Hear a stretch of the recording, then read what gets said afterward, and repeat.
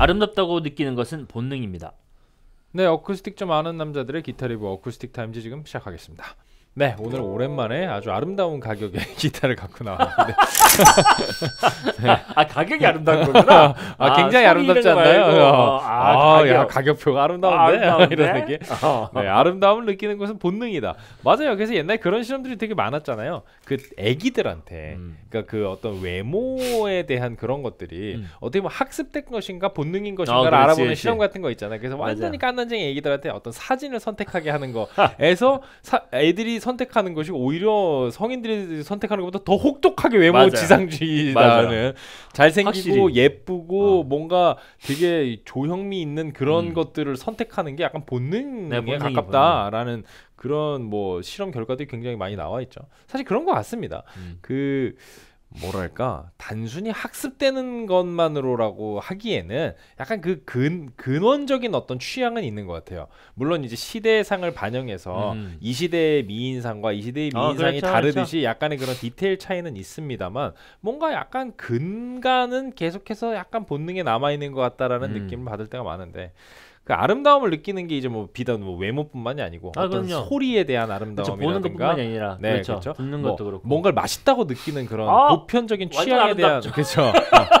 그런 아름다움 아, 완전 아름답죠. 그렇죠. 네. 향기도 그- 그렇고. 맞아요 향기도 그렇고 그래서 그 어떤 오감에 대한 것들은 약간 기본적으로 본능에 좀 탑재되어 있는 게 이- 있는 네, 게 맞아요, 아닌가 맞아요. 그 아무것도 모르는 애기들이 좋아하고 거부하는 것으로 그게 약간 본능에 네. 장착되어 있는 게 아닌가 싶습니다 제 동생이 네. 그 저랑 이제 23살 차이 나잖아요. 네 태어난 지 얼마 안 됐을 네. 때. 세살 때였나? 정말 네살 애기. 때였나? 네, 완전 애기 깐난 애기 때. 네. 그제 첫째 동생 네. 사진이랑 음. 그리고 제 아는 동생의 여자친구 사진을 갖고 왔는데 음, 이게 둘 다 이쁘게 생겼어요. 음. 이쁘게 생겼는데 제 동생이 조금 더 이쁘게 생겼던 것 음. 같아요. 아, 제가 보기에도. 네네네네. 근데 첫째 동생 예, 말씀하신 예, 거죠 맞아요. 네네. 예, 막내 동생이 사진 두 장을 딱 주니까 한 장은 버렸어요. 애들은 그 사회적인 배려라는 게 없기 때문에 없어. 혹독하다고 어, 버려버리더라고. 어, 그냥 이렇게 버리면 안. 돼. 어. 예, 그때 그 같이 있던 그 친구는 음. 옆에 있었고 그리고 제 동생이 같이 안 있었거든요. 음. 그래서 버려버리니까 그 동생이 상처 입어가지고 어 야 이거 왜? 그렇죠.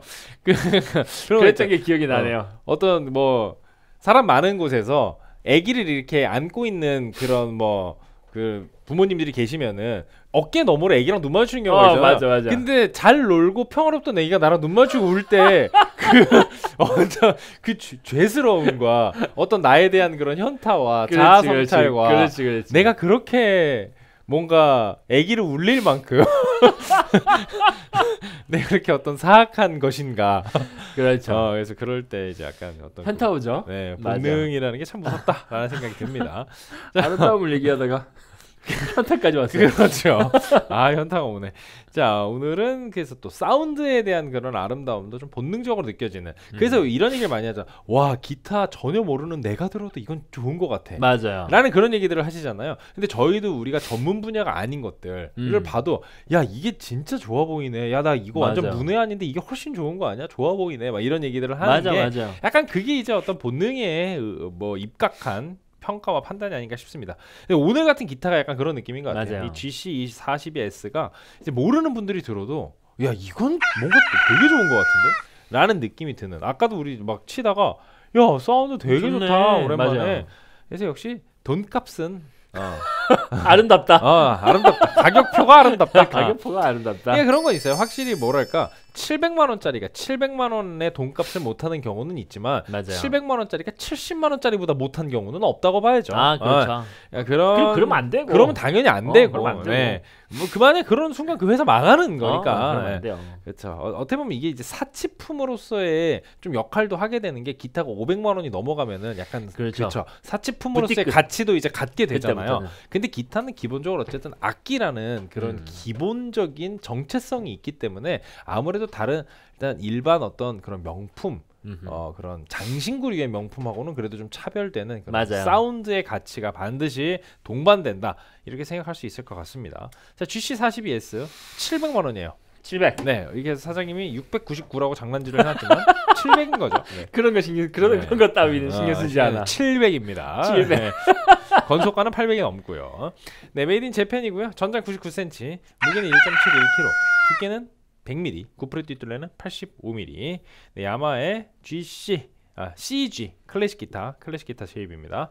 아, solid European spruce 혹은 홋카이도 spruce가 사용이 되어 있는데 음. 이건 저희가 봤을 때 뭐가 사용된 홋카이도. 건지 알 수는 없어요. 근데 익숙하게 생긴 걸로 봐서 음. European이 아닌가 싶기는 한데 홋카이도가 사실 어떤 느낌의 질감인지 저희가 실제로 많이 본 그러니까요. 적이 없어갖고 왠지 홋카이도 spruce 되게 좋을 것 같아 왠지. 이 느낌이. 일본 느낌 나. 어 약간 어, 설산에서 베온 막 그 느낌 있잖아. 왠지 막 엄청 소리 깨끗할 것 같고 그 느낌? 이미지가 있네요. 네. solid 어, 마다가스카르 로즈우드 축구판이 사용이 되어 있습니다. 굉장히 어, 색깔과 결이 고운 로즈우드 사용이 되어 있고요. gloss finish가 적용이 되어 있어요. African mahogany neck 네 peg. 아주 예쁜. 이쁘죠? 네, white button 자기의 peg가 들어가 있고요. 앞으로 돌아와서 bone nut에 nut 너비 딱 classical 클래식이죠. 52mm입니다 지판 ebony의 지판 곡률은 flat. 자, 여러분들이 이제 뭐 지판 곡률 반지름 우리가 이제 얘기를 할 때 지판이 이제 어떤 하나의 이렇게 돌아가고 있는 원의 하나의 그, 그렇죠. 그 중간 영역처럼 이렇게 그 깎아서, 있잖아요. 볼록 튀어나온 게 있는데 거의 이제 그 반지름이 한 400mm가 넘어가면은 거의 평면에 가깝게 보이고 음흠. 실제로 이 클래식 기타처럼 flat이 되잖아요. 그럼 오히려 이렇게 오목하게 들어간 것처럼 느껴지게 됩니다. 이게 flat이에요. 스케일 길이는 650mm고요. bridge는 Indian rose가 사용이 되어 있습니다. 가격은 700. 자, 우리가 예전에 했었던 이 GC 라인들이 있어요. 보면은 지금 그 GC 라인들을 제외하고 제일 비싼 야마하 기타는 어떤 것들이 있냐면은 이제 NCX 뭐 음, NCX. 그, 어, NCX 모델류가 있고요. NCX 모델류가 이제 어떻게 가격대가 형성이 되어 있는지 한번 볼게요. 어, 제일 비싼 기타가 NCX 중에 제일 비싼 게 음, 1200 NCS 아 NCX5가 있군요. NCX5 NCX 시리즈 최상위 모델 이게 야, 그 옛날에는 맨 마지막 1200 거. 어. R이었는데 그 다음에 나온 거에서 이제 200 200만 원대 음. 초반까지 그래서 이 NCX 시리즈가 있고요. 그 다음에 이 GC는 아예 개량이 아닌 그냥 일반 그냥 클래식. 클래시컬 클래식이죠. 지금 저희가 하고 있는 이 42S 말고 또 굉장히 비싼 82S 음. 모델도 있습니다. 이 82S 모델이 지금 보면은 사이트 상에서 82S와 82C, 음. 뭐 시드카 스프루스와 시더탑 이런 시더. 식으로, 예, 어, 스프루스와 시더탑 이런 식으로 42S, 42C, 32S, 32C, 22S, 22C, 12S, 12C 이런 식으로 음. 어, 모델이 나오는데 42다면 52, 6이 7이가 없고 바로 바로 80으로 팔. 올라가요. 이게 이게 그럼 바로 그 밑에. 예, 바로 그 밑에. 그 가격이 얼마냐? 한 1,300만 원 정도 합니다. 아우 네. 그냥 훅 뛰네. 그렇죠. 그래서 이제 거의 여기서 두, 거의 두 배 그냥 예, 확 뛰네요. 여기서는 이제 여러분들이 좀 뭐 어떤 뭐 생각을 전략적인 생각을 좀 해보실 수가 있는 게 자 일단은 저희가 예전에 했었던 가장 비쌌던 게 GC 중에 가장 비쌌던 게 이제 GC 32S 음흠. 요거 전에 했었던 거 이게 명호 씨는 나랑 바꾸자 저는 이제 제페니쉬 막 이렇게 음. 드렸고요 9.0 8.0 이런 식으로 점수가 나왔었는데 가격을 생각해 보면은 상당히 점수가 잘 나왔던 거고요 그거보다 맞아요. 이제 오늘 위로 올라온 건데 사실 지금 이게 700이 됐잖아요 음. 그럼 이 상황에서 여러분들 500이 넘어가는 클래식 기타를 구입하실 때는 양산형 말고 이제 그렇죠. 개인 공방 우리나라에도 이제 기타 잘 만드는 루티어 분들이 굉장히 많이 계시고 예 맞아요. 그런 공방들이 이제 저기 파주 쪽에 많이 몰려 있습니다. 그렇죠. 네, 파주 쪽에 그 개인 기타 제작자들의 공방들이 되게 많이 모여 있는데 그쪽에 아주 잘하시는 유명한 분들이 많이 계셔서 그쪽에 가면은 사실 뭐한 양산형 그분들도 이제 그 약간 기본 스펙으로 만드는 거 물론 이제 공장에서 찍어내는 음. 양산형하고는 또 제작 공정이 조금 다르겠지만 그것도 이제 싸게는 뭐 한 2, 300만 원대부터 구입할 음. 수 있는 것들이 있거든요. 그래서 자기한테 성향이 되게 잘 맞고 이런 뭐 만드는 제작 공법이나 이런 것들이 자기가 되게 딱 마음에 들게 세팅을 해 주시는 자기 취향의 제작자를 찾는다면 사실 500만 원 이상에서는 그런 개인 제작을 시도를 그렇지. 해보는 것도 굉장히 좋은 네. 어, 옵션이 될 수 있어요.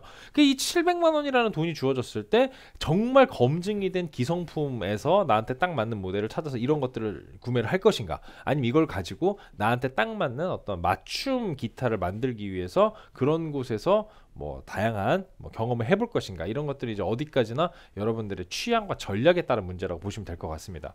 근데 그게 500만 원까지는 그냥 뭐 양산형 기타를 사는 게 뭐 굉장히 저는 어떻게 보면은 그 나의 에너지와 시간을 아낄 수 있는 되게 좋은 방법이라고 생각을 하거든요. 근데 이제 그게 500만 원 위로 올라갔을 때는 한 번쯤은 이제 커스터마이징의 생 어, 그런 고려를 해보는 것도 네, 네, 나쁘지 않은 것 같아요. 전 좋은 것 같아요. 네 그렇습니다. 그러니까 내가 원했던 거 그런 목재나 음. 어떤 사이즈나 그런 걸 가지고 해봤을 때 어, 정말로 이 소리가 나네. 어, 만족도도 높아질 것이고. 그렇죠. 네. 그러다 보니까 이제 한 700점 되니까 저희 이제 그 말씀도 같이 드리면 음흠. 좋지 않을까 생각이 들어서 해봤습니다. 물론 양산형의 이 압도적인 어떤 편안함, 아 편안함 네, 있죠. 검증됨 뭐 이런 것들 그렇죠. 있으니까. 시장 안 가고 저희가 마트 가는 거 비슷한 음, 예. 그렇죠. 네, 그렇습니다. 그래서 어, 이런 것들도 한번 고려해 보시면 좋지 않을까 싶습니다. 사운드 들어볼게요. 네, 사운드 한번 들어보겠습니다. 뭘 칠까 고민을 하다가 네, 사운드가 좋아서 음, 운지는 좋지 않은데 사운드는 좋죠. 그렇죠. 네. 아 최근에 하던 그런 고급형 클래식 기타들하고는 차원이 다른 사운, 사운드가 나죠.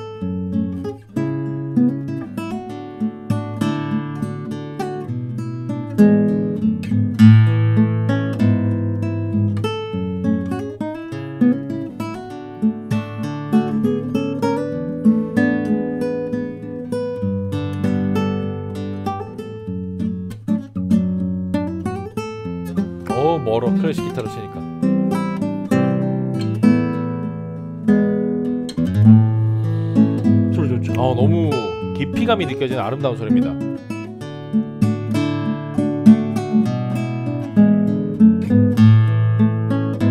애기들이 들어도 감동할 소리.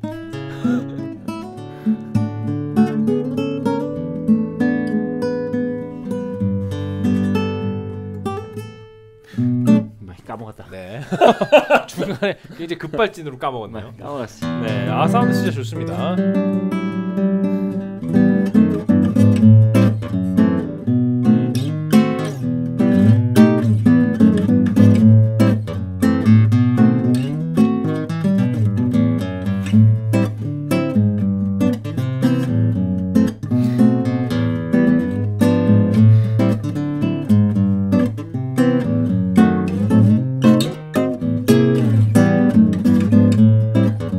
아, 전 시간에 43을 좋아요. 치다가 51을 네. 치니까 갑자기 10mm가 넓어진 거니까. 네, 어, 아, 손이 아주 그냥 그렇습니다. 바쁘네요. 전 시간에 이렇게 잼잼하다가 이번 시간에 뭐 이렇게 해야 되니까. 네. 예. 어 지금 이게 그 야마하의 하이엔드 클래식 기타의 뭐 어쨌든 잃지 않는 야마하 감성이 어떤 느낌이냐면은 기본적으로 완전히 두툼하거나 무거운 감성이 아니에요. 야마하는 좀 밑단이 깔끔하게 정리 정돈이 잘 되어 있는 기본적으로 약간 팝적인 사운드.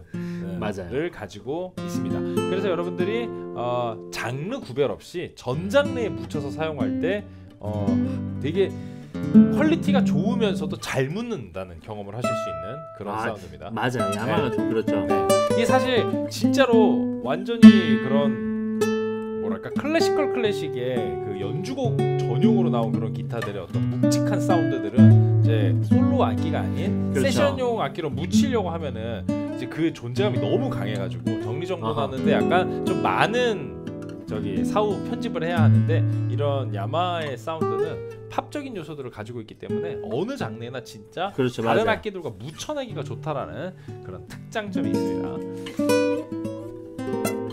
똑바로 앉혀.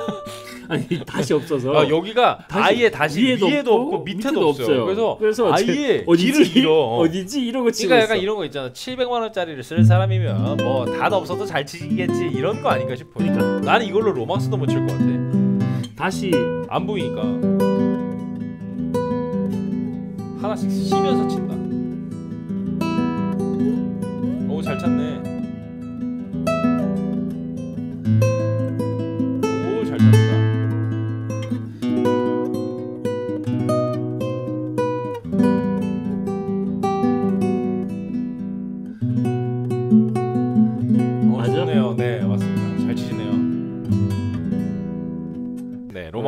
메이저. 메이저 네 마구리 메이저. 마그리 마이서스 잘 들어봤습니다. 자 솔로 톤만 마지막으로 한번 들어볼까요? 한번 들어볼까요? 네, 피크 자, 없나요? 피크로 어 좋은데요? 어떤 쫀쫀한 코어가 빡 느껴지는 사운드라서 아주 좋네요. 줄간 밸런스가 comp 먹여놓은 것 같아요. 오 좋아요. 음. 상당히 좋은데. 펀치감도 있고 밸런스가 진짜 좋네요. 줄간 밸런스가. 그러니까. 네. 어. 그쵸. 딱 해놓고 comp 쫙 매겨갖고 위에를 싹 정리한 어, 느낌. 위에 밑에 게 밑에 게 너무 벙벙거리지도 않고 네네네. 위에가 이게 죽지도 않아요. 깔끔 쫄깃합니다. 어, 완전 좋은데요? 좋아요. 네 그런 사운드입니다. 네, 역시 뭐 700만 원짜리는 아이, 그래도 그렇죠. 네, 네. 뭐이 정도는 나와줘야죠. 가격표가 아름답네요. 아름다운 기타 잘 들어봤고요. 네. 이거 어떤 곡 네, 건가요? 저희 곡 중에서 Beyond the Star 들려드리겠습니다. 네, 약간 클래식 시연에 가장 많이 사용하는 곡이죠. 네, Beyond Stars 듣고 오겠습니다. 뿅. 뿅.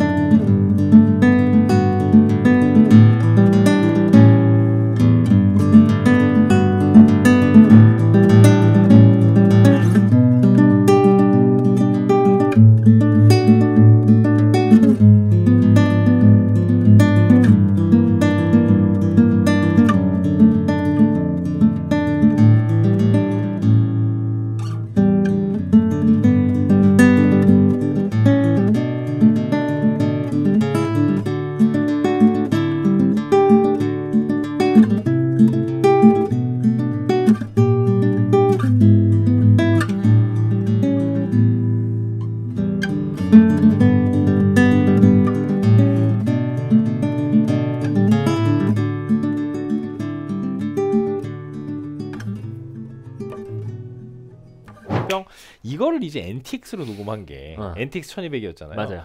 지금 이제 다른 기타들로 하도 이걸 듣다 보니까 왜 NTX로 했나 싶어요. 그러니까 이제는. 맞아요. 그 약간 맞아. 듣다 보면은 그 약간 고무줄 소리 택택택 하는 게 중간에 아, 들린단 맞- 말이야. 들려요. 네. 왜 그걸 NTX를 좀더 가지고 깊이 쳐, 깊이 있게 쳤으면 네. 어땠을까? NTX를 약간 뭐 앰프 miking이랑 사운드 소스를 섞은 것도 아니고 그걸 그냥 생 miking 했잖아요. 맞, 생 miking 그러다 했어요. 보니까 약간 어떻게 보면은 그 악기의 장점보다는 좀 단점 쪽이 부각된 그런 네, 레코딩이라는 많이 어, 들어갔어요. 그런 생각이 그 처음에 그 노래를 들었을 땐 그냥 뭐 코드가 아름답고 노래가 좋으니까 별 생각이 없다가 다른 기타로 하도 이 노래를 치다 보니까 그렇지. 원곡이 이제는 그렇지. 야 이거 녹음을 그때 좀 잘못했네. 저는 이제 어떻게 해요? 녹음 어떻게 하죠? 이제 뭐 망했지 뭐. 망했어요, 어, 이제. 망했지 뭐. 그렇습니다. Beyond Stars 올해 또 잘 들어봤습니다. 자 이렇게 사운드 쭉 모니터 해봤고요. 명업 씨부터 바로 한 줄 평 드릴게요. 네, 어, 클래식 기타는 원래 시작가 저 제 거 좀 싼 거예요 하면서 천만 원 이렇게 시작하시는 음, 분들이 많아요. 맞아요, 맞아요. 그래서 제가 생각할 때는 양산형의 끝판왕이 아닐까라는 음. 시- 생각이 들어서 어, 양산형의 양산형의 끝이라고 드리겠습니다. 알겠습니다. 가장 현대적으로 정리된 클래식 이렇게 예, 드리도록 하겠습니다. 그렇지. 그런 말 맞죠? 네, 딱 야마하의 장기가 그대로 드러난 사운드였어요. 자, 스쿼드 발표하겠습니다. 씨 사운드 32, 가성비 14, 편의성 15, 디자인 15 해서 총점 76점이고요. 저는 사운드 32, 가성비 12, 편의성 17, 디자인 15 해서 총점 76점, 평균 점수 76점입니다. 뭔가 엄청 다른 것 같은데 같은 점수가 나왔죠. 네. 근데 사운드는 둘다 32야. 그러니까 똑같은 느낌으로 생각을 했어요. 어 근데 이제 명호 씨 같은 경우에는 가성비를 좀 후하게 주신 편이고 700 네. 치고는 네, 700 치고는 14점을 주셨는데 맞습니다. 편의성 15 디자인 15 나왔거든요. 근데 저는 이제 700이라는 가격이 쉬운 가격은 아니기 때문에 그렇죠. 가성비에서는 전 12로 좀 많이 내렸고요. 대신에 아까 말씀드렸던 것처럼 장르 적응력이 워낙에 어. 높은 그런 사운드를 보여줬기 때문에 전 편의성에서 17을 드렸습니다. 그리고 디자인은 둘 다 15, 15 해서 76점 아주 높은 점수를 잘 받았네요.